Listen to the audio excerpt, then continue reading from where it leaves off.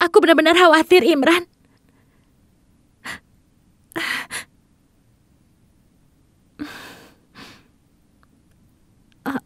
Aku pikir semua orang sudah pergi.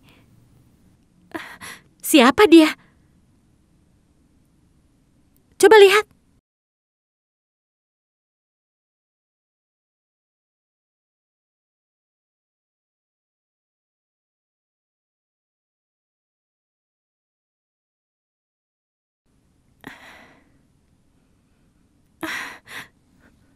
Kita periksa ke sana ya.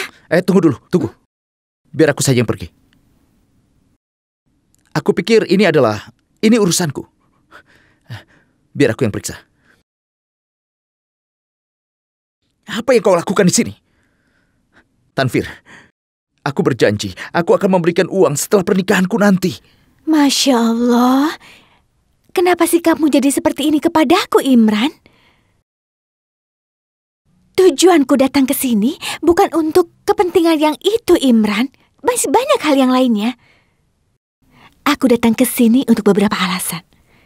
Aku hanya ingin tahu apa yang terjadi di sini. Tapi kenapa kau peduli dengan semua yang terjadi di sini? Aku memang peduli. Aku adalah orang yang peduli tentang cinta. Aku peduli dengan diriku sendiri. Hm? Katakan padaku, di mana Zoya? Eh, mana aku tahu di mana dia? Uh, kenapa kau peduli tentang Zoya? Apa kau pikir aku tahu di mana dia? Tanfir, aku tidak tahu kenapa kau ada di sini. Tapi jika Nasma melihat kita bersama-sama, aku tidak bisa mengatakan apa-apa lagi. Demi Tuhan, pergilah dari sini, Tanfir. Aku mohon jangan ke sini lagi. Aku tidak tahu di mana Zoya, di mana Asad, dan juga di mana ibuku. Aku tidak tahu di mana mereka. Zoya masuk dari sana, kemudian Asad datang menghampirinya dan membawanya keluar. Aku tidak tahu di mana mereka. Aku mohon. Tunggu. Aku mohon. Apa kau bilang?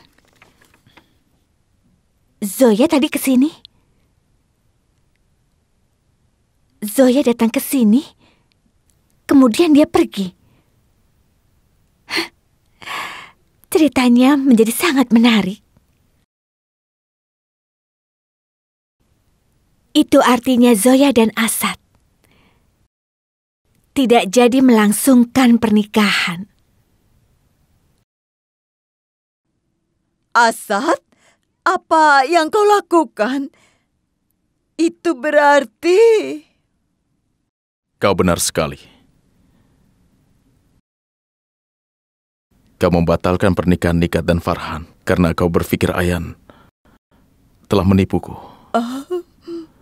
Tapi itu semua tidak benar. Tidak ada satupun dari kalian yang harus marah atau menyalahkan siapa pun di sini. Seorang istri layaknya berada di samping suaminya. Sedangkan mereka sudah menikah. Jadi, Dona Faruqi, sekarang di tempat yang tepat.